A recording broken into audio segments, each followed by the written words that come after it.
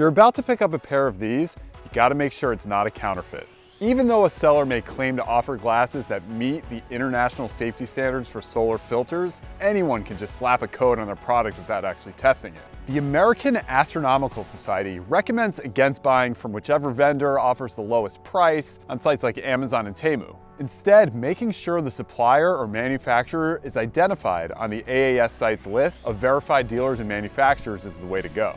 You can also check local libraries, museums, and other community centers that might be handing them out for free.